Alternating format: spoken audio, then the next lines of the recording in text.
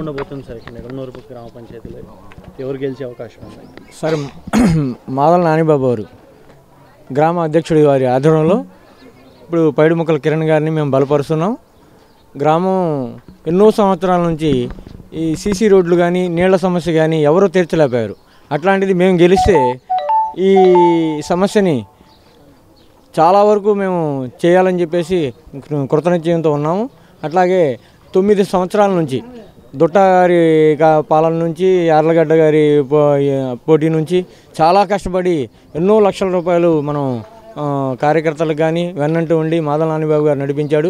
అట్లాగే ఇప్పుడు మేము గెలిచి వంశీ గారికి కూడా అంతే పని చేస్తామని చెప్పేసి మేము నిడమానూరుని ప్రజల విఘ్నతతో మేము అభ్యర్థిస్తున్నాం.